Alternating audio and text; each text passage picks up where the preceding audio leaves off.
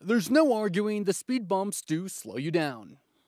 But what about when they slow down this vehicle or this vehicle? If we got to them faster, some of them would have lived. City Councilor Don Harris wants to fund a study that pinpoints emergency routes. If a road is frequently used by emergency responders, no speed humps there. What you find with speed humps is that they, they actually probably kill more people than they save. Not true, says City Councilor Sally Mayer. I cannot imagine any way that you could even guesstimate how many people have been saved.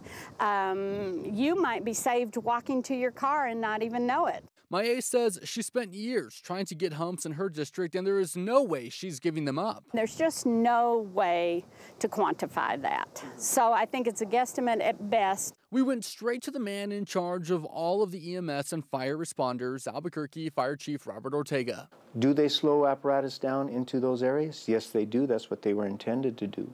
Uh, do they uh, put us in the in the frame of not meeting the response time criteria set forth? No we do meet that response time criteria that was set forth by the uh, uh, medical authority. Harris argues during an emergency, seconds can mean the difference between life and death. Mayer argues her neighborhoods are safer and happier with the slower traffic.